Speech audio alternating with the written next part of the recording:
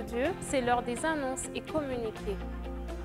Action de grâce. L'Église rend grâce à Dieu pour le bon déroulement du séminaire intitulé Les douze soirées des langues de gloire.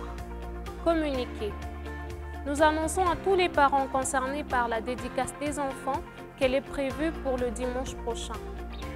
Tous les professionnels sont priés de participer à une réunion organisée à leur intention ce dimanche 29 janvier dans la salle Vium à partir de 14h30. Tous les responsables de département sont priés de passer au Val afin de vérifier à quelle date est prévue leur retraite qui commence en février. Nous rappelons à toute l'Église que les inscriptions à l'Institut biblique et théologique des Assemblées de Dieu continuent et la première session va commencer en février. Programme de la semaine. Lundi, cellule de maison pour ceux qui se réunissent le matin de 6h à 7h30 et pour ceux qui se réunissent le soir de 17h à 18h. Mardi, réunion de femmes de 16h à 17h45. Mercredi, étude biblique de 16h à 17h. Jeudi, jeudi miracle de 12h à 13h.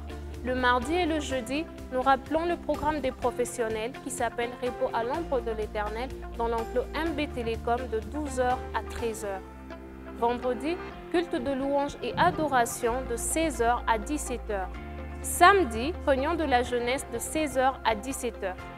À tous nos visiteurs, nous vous disons caribou et nous vous remercions d'avoir participé à ce culte. C'est la fin de ce carnet d'annonces et communiqués et nous vous remercions de l'avoir suivi. Nous vous souhaitons un bon dimanche et une semaine bénie.